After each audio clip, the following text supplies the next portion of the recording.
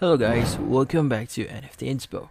For today's video, we are going to show you how to fix Facebook featured photos not appearing. So there's actually multiple things that we could do here to fix this issue. The first thing that you want to do here is you want to check if there are any updates for Facebook.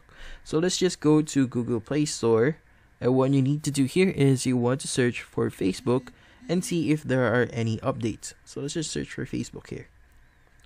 Now, in here, once you search Facebook, see if there are any updates. So it's going to say update there next to the Facebook application. As you can see right now, it's currently pending. Currently, it's updating my Facebook. So you make sure that you have the latest version of Facebook so that you are not missing with the latest updates. That and that would actually probably fix your issue. So if that's not the case, if does this doesn't actually solve your issue, there's another thing that we could do. Now from here, you just need to locate your Facebook application and you just want to press and hold on Facebook and you want to go to app info. Now here, just click on app info. And from here, what you need to do first is you want to check your app app permissions.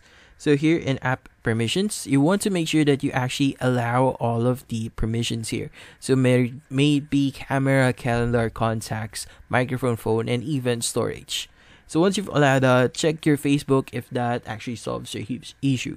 If that doesn't solve your issue, the next thing that we could do here is we want to actually clear our cache.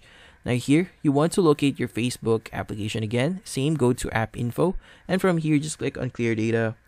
And from here, just click on clear all data or clear cache and see if that actually solves your issue. So hopefully this video was able to help you. Like and subscribe to NFT Inspo. Thank you for watching.